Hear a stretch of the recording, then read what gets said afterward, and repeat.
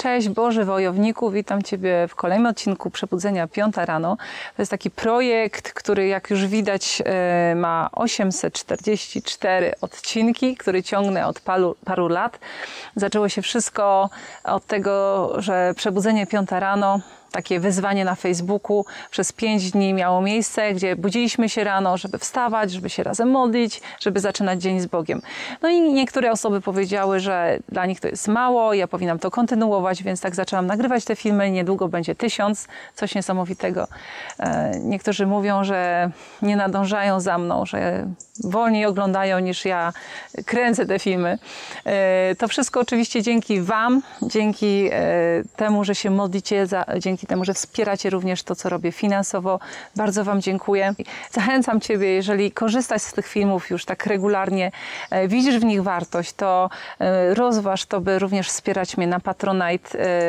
Tutaj znajdziesz link również w opisie tego filmiku. Na moim profilu e, można wybrać jakąś nawet niewielką kwotę, ale regularną co miesiąc, żeby móc dokładać taką swoją cegiełkę do tego wszystkiego, co tutaj się dzieje, a dzieje się bardzo wiele. Może się wydawać, że ja tylko gadam, a tak naprawdę dzieją się rzeczy duchowe, rzeczy ukryte, przemiana w ludzkich sercach, w ludzkim życiu. Czasami dostaję maile i czytam o tym, to jest coś niesamowitego, dlatego że Duch Święty działa przez swoje słowo i my to słowo czytamy, my się w nie wgryzamy, aby ta moc Boża mogła być uwolniona nad naszym życiem. I to się dzieje. E, ten pełen owoc tej pracy kiedyś zobaczę, mam nadzieję, Wy również, mm, ale wiem, że Duch Święty działa i potężne rzeczy robi. Ok, zaczynamy kolejny odcinek.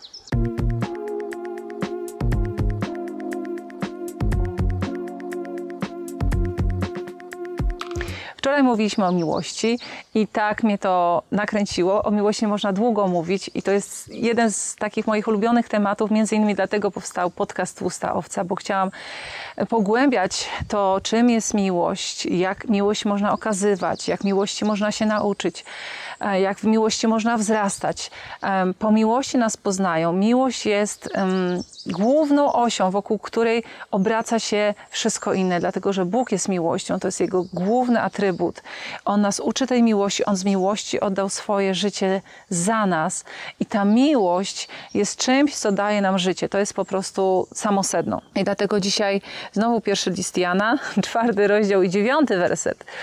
E, wczoraj żeśmy czytali dziesiąty, dzisiaj dziewiąty. Przez to objawiła się miłość Boga ku nam, że Bóg posłał na świat swego jednorodzonego Syna, abyśmy żyli przez Niego. Wczoraj żeśmy trochę już mówili na temat tego, mm, że miłość polega na tym, że Bóg nas pierwszy ukochał, tak? że posłał swojego Syna, yy, aby odkupił nas od grzechu. Czyli na tym polega miłość. Po prostu kochać bezwarunkowo, kochać jako pierwszy. Ale tutaj mamy rozwinięcie. Ta miłość objawiła się przez to, że Bóg posłał swojego Syna, abyśmy żyli przez Niego. Wiecie, abyśmy żyli przez Niego. Więc celem miłości Bożej jest to, abyśmy żyli. Bez miłości nie ma życia. Bez miłości egzystujemy jakoś, ale nie żyjemy w pełni.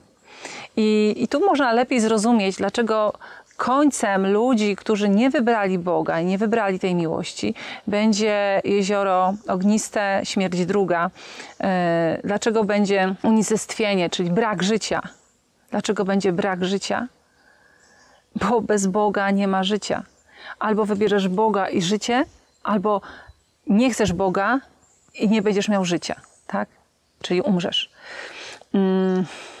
Oczywiście nie mówimy tutaj o tej śmierci cielesnej, chwilowej, której którą Jezus nazwał snem, mówimy o tej ostatecznej śmierci. Ten werset ewidentnie o tym mówi, że, że Bóg objawił swoją miłość przez swojego Syna, tak? czy posłał swojego Syna, który odkupił nas od grzechu, który wziął na siebie nasze wszystkie przewinienia, uwolnił nas od y, tego wymagania prawa, y, które mówiło, że zapłatą za grzech jest śmierć.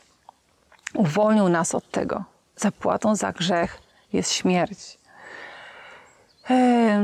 Uwolnił nas od tego wymagania prawa. Wziął to na siebie. To znaczy, to prawo nadal istnieje. Ono to tak jest.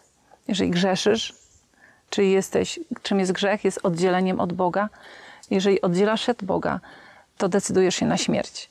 I wiecie, to jest takie niby logiczne, mm, wydaje się, że to dotyczy tylko życia tego wiecznego, tak? że, że w przyszłości będzie sąd i będzie dopiero to życie wieczne i jezioro ognia. E, ale to już dotyczy nas teraz, bo już teraz możemy wybierać życie albo śmierć. Jeżeli decydujesz się na to, żeby iść za Bogiem, żeby e, słuchać Jego słowa, żeby być posłusznym tej drodze, to ty decydujesz się na życie. I Bóg może do ciebie mówić, On może ciebie uzdrawiać, może ciebie dotykać. E, życie zaczyna być pompowane w ciebie. A jeżeli nie chcesz Boga, wiesz, ty możesz nawet mówić, tak, tak, jestem chrześcijaninem, ja wierzę w Boga, ale jeżeli nie chcesz słuchać Jego słowa, jeżeli nie chcesz być Mu posłusznym, jeżeli zamykasz się na Niego, jeżeli Mu nie ufasz, jeżeli się od Niego odsuwasz, jeżeli trzymasz jakieś swoje grzeszki w swoim życiu, bo, bo one są fajne i się do nich przyzwyczaiłeś, to tak jakbyś mówił Bogu nie w tej kwestii. Nie chcę Ciebie, nie chcę Ciebie tutaj. I tam, gdzie Ty go nie chcesz, tam jest śmierć ta sfera, w której zamykasz swoje serce na Boga, na słuchanie Go, na bycie posłusznym, ona doświadcza śmierci. Takiego powolnego umierania, no bo czasami pewnie może szybkiego nawet. I potem chodzimy, ta, takie trupy, takie niby chodzimy, niby nie mówimy, ale tak naprawdę wewnątrz jesteśmy trupami. Jeżeli nie przyjmiemy życia, jeżeli nie przyjmiemy Bożego działania, jeżeli nie, nie, nie otworzymy się na tego, który posłał swojego syna, ta śmierć może się różnie przejawiać. Tym, że, że masz depresję, że jesteś zniechęcony, że jesteś przebity, że jesteś wypalony, że jesteś nieufny względem ludzi, jesteś zgorzkniały, że wycofujesz się z jakiejś aktywności, zamiast, zamiast mieć pasję, pomysły i chęci, energię do życia, to ty się wycofujesz, powoli umierasz, tak? Tak jak starzy ludzie no, starzy ludzie, którzy nie znają Boga, no to nie dziwnego, że im się kończy energia, ale my, my, Boże dzieci, jesteśmy jak orły, które są cały czas odnawiane w swojej młodości. Powinniśmy mieć coraz więcej siły, tej wewnętrznej. Ciała, owszem, sławną, ale ta wewnętrzna siła, pokój, radość, optymizm, patrzenie takie, takie pełne nadziei na ludzi, na, na, na, na nasze życie, to powinno w nas wzrastać. Jeżeli to maleje, to, to coś się dzieje niedobrego, to, to jest jakieś zamieranie, jest jakaś śmierć we mnie. Nie doświadczam Boga w dostateczny sposób. Nie przyjmuję życia od Boga nie przyjmuję Jego słowa, nie przyjmuję tego, co, co On chce mi dać. Gdzieś się zamknęłam, gdzieś się wycofałam, gdzieś się obraziłam, gdzieś się uraziłam, e, gdzieś się, gdzieś postawiłam jakieś mury albo, albo jakąś granicę. E, I to musi zostać uzdrowione. No, czy, jeżeli chcesz, jeżeli chcesz. Ja teraz modlę się o to. Modlę się o to. Jeżeli słuchasz tych słów, właśnie tak to odbierasz, to modlę się o pokonanie tych granic, o pokonanie tych murów, o to, żebyś Ty, Duchu Święty, teraz ze swoją falą miłości wtargnął w tą osobę i rozwalił to wszystko, co Was dzieli, co dzieli Ciebie od tej osoby.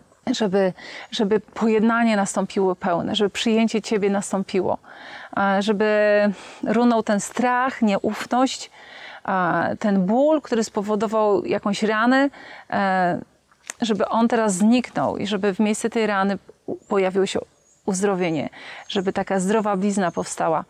E, modlę się o to, żebyś Ty, Duchu Święty, pokonał wszelkie trudności, które, które nas ograniczają, które nas powstrzymują przed przyjściem do Ciebie bliżej.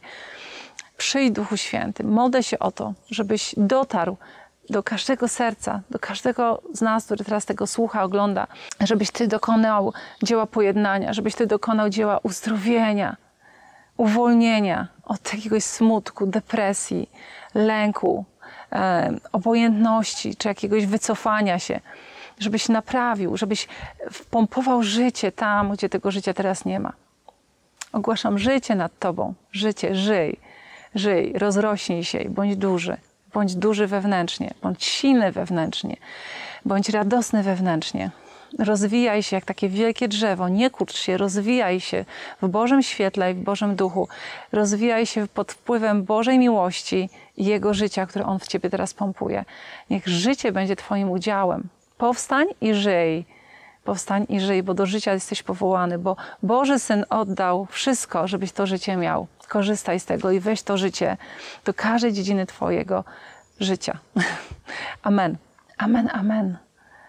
E, Ciekawa jestem, jak Ty doświadczasz życia w Chrystusie i co On zmienił, w czym On Ciebie rozciągnął, do czego Ciebie powołał, jak, jak Ciebie uzdrowił. E, Czy Ty go doświadczyłeś? Proszę napisz w komentarzu, to jest bardzo ważne. Kiedy widzimy takie konkretne przykłady, to jest łatwiej nam sobie wyobrazić, jak Bóg może działać konkretnie w naszym życiu. Tak więc Twoje komentarze mają sens, są potrzebne. Napisz, podziel się kawałkiem swojego życia. Do jutra. Pa, pa.